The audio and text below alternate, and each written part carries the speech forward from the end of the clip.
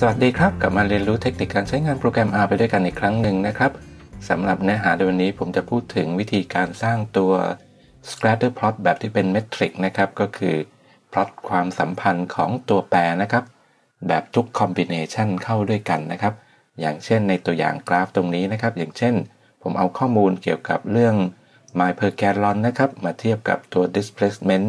ที่เป็นขนาดของเครื่องยนต์นะครับ เทียบกับ horsepower ผมก็จะได้ตัว ที่เป็นตัว scatter plot แสดงความสัมพันธ์ อย่างเช่น รูปนี้ก็จะเป็น mile per gallon เทียบกับตัว displacement รูปนี้ก็เป็น mile per gallon เทียบกับ horsepower ส่วนรูปนี้ก็เป็น displacement เทียบกับ horsepower นะลองมาดูตัวอย่างดีกว่านะครับ อันนี้ผมจะใช้ข้อมูลจากตัว MT cars นะครับ ซึ่งอยู่ในตัว dataset package นะครับ ที่ติดตั้งมาพร้อมกับ R นะฮะ ลองดูข้อมูลนะครับ อันนี้ก็คือข้อมูลก็จะมีรุ่นของรถนะครับ แล้วก็มีบอกตัวสเปคต่างๆ ของรถนะครับ ถ้าเราอยากจะดูรายละเอียดว่าแต่ละตัวเป็นอะไรนะครับ เราก็มาที่ help ตรงนี้นะครับ แล้วก็พิมพ์เข้าไปนะครับ MT cars นะครับ อันนี้ก็จะเป็นรายละเอียดเห็นไหมครับ แต่ละตัวว่าเป็นอะไรนะครับอ่าครั้นี้เรามาดูวิธีการสร้างตัวกราฟนะครับ อย่างแรกนะครับ เราจะใช้ฟังก์ชันที่ชื่อว่า pairs นะครับ แล้วเราก็สามารถผ่านตัว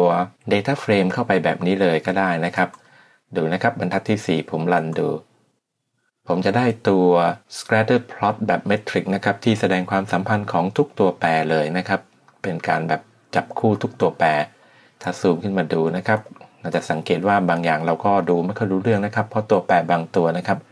มันไม่ใช่เป็นตัวที่เราควรจะมาพลอตหาความสัมพันธ์นั่นเองนะครับ เพราะฉะนั้นมาดูนะครับ เราสามารถที่จะระบุได้ว่าเราจะเอาตัวแปรตัวไหนที่อยู่ในตัว Data Frame นะครับ มาแสดงเป็นกราฟ อย่างเช่น บรรทัดที่ 5 ถ้าผมฟิลเตอร์เอาเฉพาะ 1 colon 3หมายความว่าผมจะเอาคอลัมน์ที่ 1 ถึง 3 มาดูนะครับ ตรงนี้นะครับ อันนี้คือคอลัมน์ที่ 1 ส่วนอันแรกตรงนี้นะครับ เป็นตัว row names นะครับ ในตัว mtcars อันนี้ไม่ใช่ตัวคอลัมน์นะครับ สังเกตง่ายๆ ตรงนี้เนี่ยไม่มีชื่อคอลัมน์อยู่นะฮะ ลองดู MPG นะครับ mile per gallon เนี่ยก็บอกเป็นคอลัมน์1 displacement เป็นคอลัมน์3ก็จะไล่ไปเรื่อยๆนะครับ 1 2 3 เพราะฉะนั้นถ้าผมบอกแบบนี้ผมรันดูนะครับ เห็นไหมครับ ผมจะเหลือแค่ 3 คอลัมน์เนี่ยมาดูได้นะครับ คอลัมน์1นะครับ คอลัมน์ 2 แล้วก็คอลัมน์ 3 แบบนี้นะครับ หรือว่าเราจะระบุคอลัมน์ที่ไม่ติดกันก็ได้นะครับ ผมบอกว่าเอาคอลัมน์1คอลัมน์3คอลัมน์4แบบนี้ผมก็ใส่แบบ บรรทัดที่ 6 run ดูนะครับดูนะฮะคอลัมน์1 miles per gallon คอลัมน์3นะครับ displacement คอลัมน์4 horsepower แบบนี้เป็นต้นนะครับเห็นไหมครับ หรือว่าผมว่าถ้าจะเขียนให้ดีขึ้นน่าจะใช้แบบบรรทัดที่ 7 เนี่ย ใส่ชื่อคอลัมน์เข้าไปตรงๆนะครับ ผ่านค่าเป็นเวกเตอร์นะครับ แล้วก็ชื่อคอลัมน์แบบนี้ผมก็ run ได้นะครับ ผลลัพธ์ออกมานะครับเหมือนกันนะครับบรรทัดที่ 7 กับ 6 นะครับ เพราะ MPG คือคอลัมน์1 displacement คอลัมน์3 horsepower คือคอลัมน์4นะครับการนี้นะครับตอนพลอตเราจะเห็นว่าจริงๆแล้วเนี่ยพวกนี้เนี่ยมันจะมีตัวที่กราฟที่ซ้ำกันอย่างเช่น ตัวนี้กับตัวนี้ก็เหมือนกัน ตัวนี้กับตัวนี้เหมือนกัน ตัวนี้กับตัวนี้เหมือนกัน เราสามารถที่จะระบุว่าเราจะให้ตัว lower panel ก็คือตัวนี้นะครับที่อยู่ ใต้เส้น diagonal เนี่ยเรียกว่า lower panel อย่างเช่นผมรันตัวนี้นะครับ เห็นไหมครับ ตัว lower ก็จะหายไป เราก็จะเห็นว่าเนี่ย ค่า mile per gallon นะครับ ก็คือแกนด้านนี้นะครับ แกน y เทียบกับ displacement แกน x นะครับ ว่ามีความสัมพันธ์เป็นยังไงนะครับ อย่างเช่นอันนี้ตัว displacement ยิ่งเยอะนะครับ mile per gallon ก็จะยิ่งน้อย ใช่ไหมครับ หรือว่าในทางตรงกันข้ามนะครับ ถ้าเราบอกว่าให้ upper panel เท่ากับ null นะครับ เราก็รันออกมานะครับ จะกลายเป็นแบบนี้ ซึ่งปกติแบบนี้มักจะเป็นแบบที่เราเห็นกันบ่อยนะครับ ก็คือตรง upper ตรงนี้เนี่ย ให้มีค่าเป็น null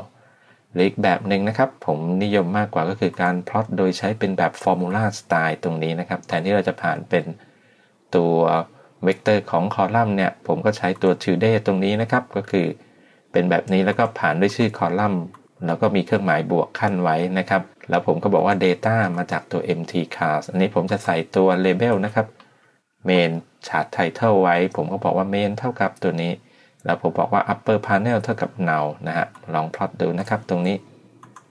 เห็นไหมครับ ผมก็จะได้ตัวเนี่ย label ขึ้นมา upper panel เท่ากับ null นะฮะ คราวนี้หากผมต้องการที่จะ plot โดยที่ใส่เงื่อนไขนะครับ อย่างเช่นในที่นี้นะครับ บอกว่ามันมีเกียร์ที่เป็นเกียร์ออโต้เกียร์ manual ที่ใช้เป็นตัวเลขรหัสเนี่ย เดี๋ยวผมจะแปลงตัวนี้เป็น factor ก่อน โดยที่เลข 1 นี่หมายถึงเกียร์แมนนวลนะครับ เลข 0 หมายถึงเกียร์ออโต้มาดูที่ help ได้นะครับ เห็นไหมครับ AM เนี่ย transmission 0 auto 1 manual เนี่ย ผมก็สามารถมาใช้คำสั่งตรงนี้นะครับ ผมแปลงตัว AM column นะครับ ให้เป็น factor แล้วก็มี label ว่า 0 เป็น auto 1เป็น manual ผมรันบรรทัดนี้ก่อนนะฮะแล้วมาดูตัว pass ตรงนี้นะครับ ตัว pairs ตรงนี้ผมก็ run บรรทัดตรงนี้นะครับ โดยที่ในนี้เนี่ยผมมีตัว subset ตรงนี้ หมายความว่าผมจะเอาข้อมูลที่คอลัมน์ AM นะครับ ซึ่งผมแปลงเป็น factor ไปแล้วมีค่าเป็นออโต้นั่นเองนะฮะ ผมก็สามารถทำแบบนี้ได้สั่ง run เห็นไหมครับ อันนี้พวกจุดพวกนี้คือจะมาจากข้อมูลของรถที่เป็นเกียร์ ออโต้นะฮะหรือว่าอีกอันหนึ่งนะครับ ผมใส่เงื่อนไขแบบมากกว่า 1 เงื่อนไขก็ได้ก็คือตรง subset นะครับ ก็ตรงเวกเตอร์เนี่ย ก็ใส่เข้าไปแล้วก็มีคอมมานะครับ พวกนี้จะเป็นการเชื่อมด้วย and นะครับ แบบนี้ก็คือเกียร์ manual นะครับ แล้วก็มี 4 เกียร์นะครับ ผมก็ใส่แบบนี้ได้ สั่งรันนะฮะ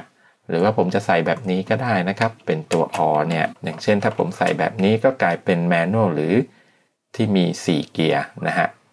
ผมก็สั่งรันได้นะครับ เห็นไหมครับ พวกนี้